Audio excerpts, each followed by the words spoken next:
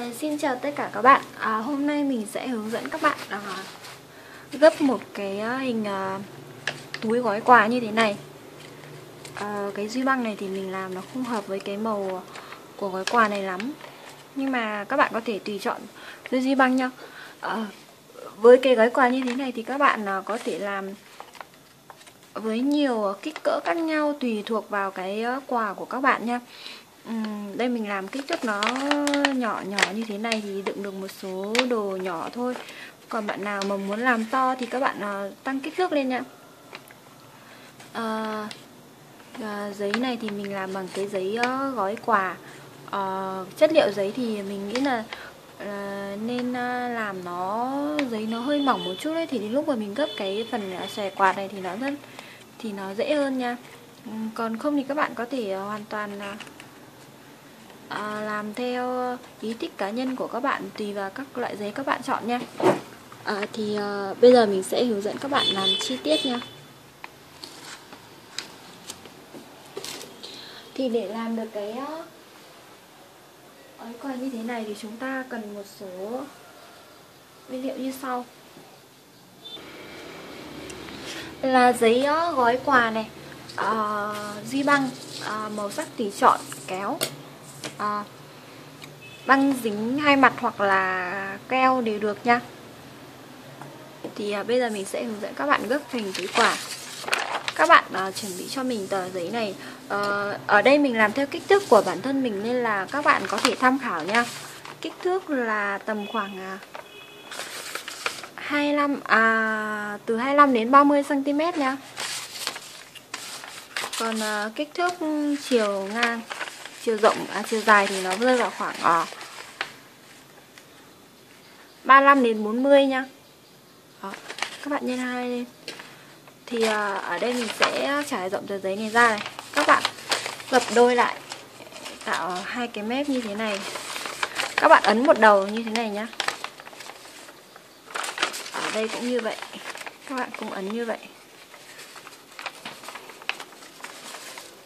Rồi giờ các bạn trải ra, các bạn nhìn thấy được hai cái đường mình đã cố định cái phần à, chia đôi của tờ giấy này rồi nhá. Thì bây giờ các bạn à, ở gập tờ giấy nó lại như thế này.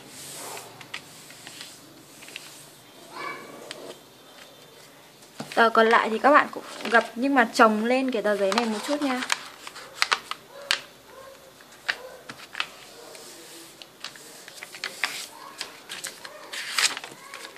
Các bạn đã thấy chưa?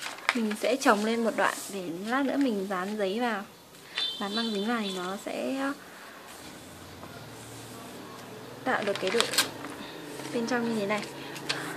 Bây giờ thì mình sẽ dùng keo để dán lại nhá. Bạn nào mà không dùng keo thì có thể dùng uh, uh, băng dính. Hai mặt nhưng ở đây băng dính của mình nó khá là to nên là mình sẽ dùng keo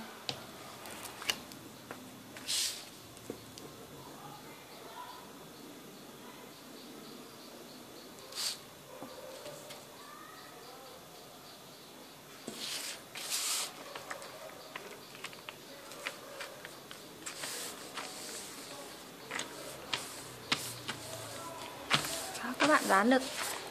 Sau khi dán sẽ được cái hình như thế này. Đấy, rồi. Tiếp đến thì các bạn sẽ gấp cái phần một cạnh à, một một à, đầu của cái tờ giấy này này lại nhá. À, các bạn đo rơi vào khoảng à, 2 đến 3 đốt ngón tay nha như thế này.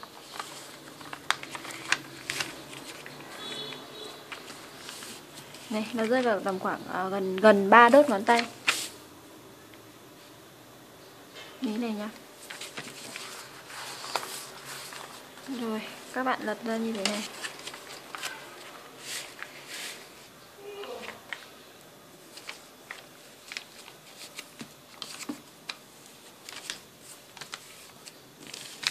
Tiếp. Tiếp nữa là các bạn sẽ gặp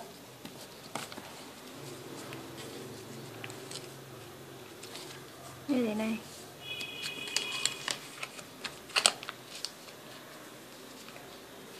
Gặp sao cho cái uh, khoảng cách từ đây đến đây nó bằng với khoảng cách từ đây đến đây nha.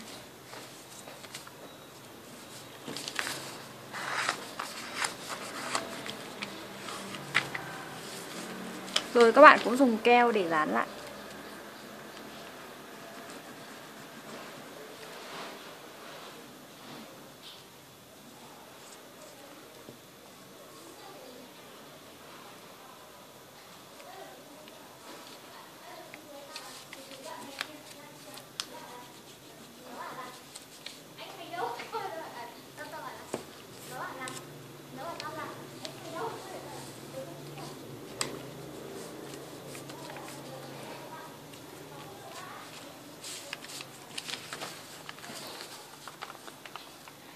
Đó.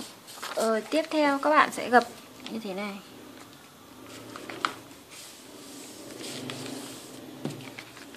Bên đây cũng vậy. Gập kín cái hình này lại nhé.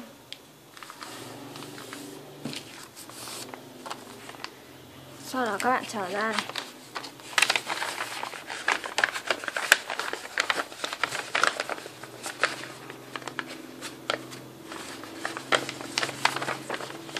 Dùng tay tạo các đường ờ, viền ở các cạnh nhá.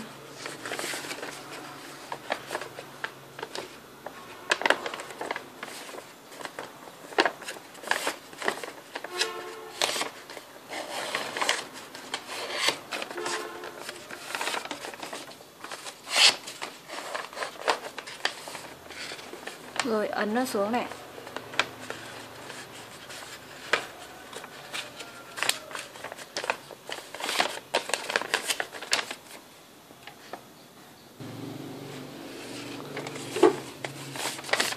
Tự bên này các bạn cũng làm vậy nha.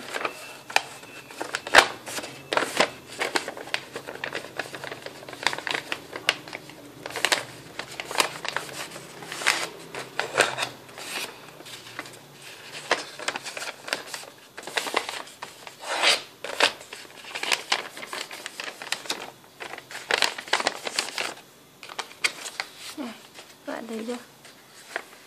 Bây giờ thì các bạn sẽ bỏ quà vào trong đây nhé à, tùy bạn nào muốn bỏ quà như nào ở đây thì mình sẽ à, đặt cái dây này vào bên trong cái gói quà này nhá.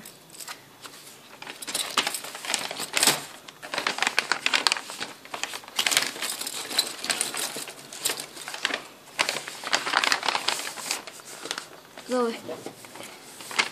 Đặt quà vào xong thì chúng ta sẽ gấp tạo hình cánh quạt. Các bạn gấp khoảng 10 lần à, cái đường như thế này.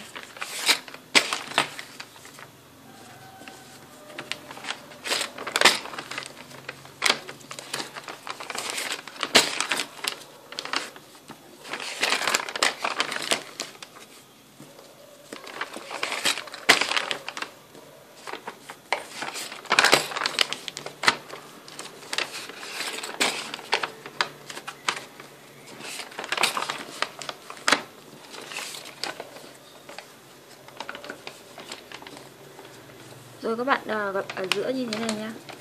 Giữ ở giữa này rồi dùng tay đẩy các cánh quạt này lên.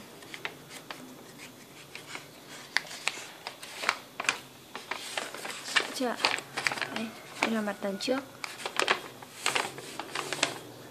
Rồi sau, đó các bạn dùng à, di băng này.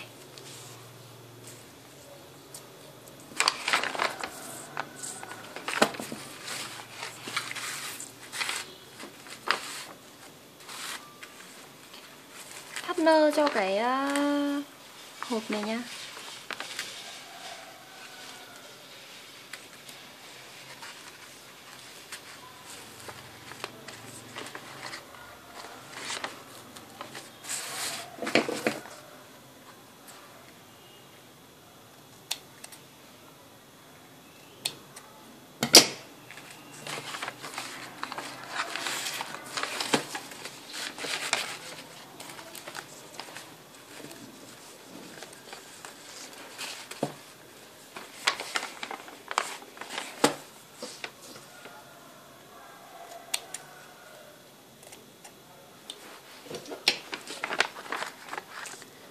Như vậy là chúng ta đã hoàn thành xong cái hộp quà này.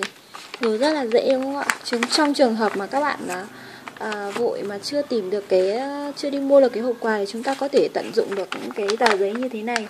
Hoặc bạn nào mà um, chủ ý là muốn à, làm uh, gói quà handmade thì các bạn có thể tự tay làm cho người mà mình muốn tặng nha. Rất đẹp đúng không ạ? Đấy mình đã hướng dẫn xong các bạn làm xong cái gói quà hộp quà như thế này thì chúc các bạn thành công và làm được những hộp quà ưng ý nha. À, xin chào và hẹn gặp lại các bạn ở những ờ, video clip sau.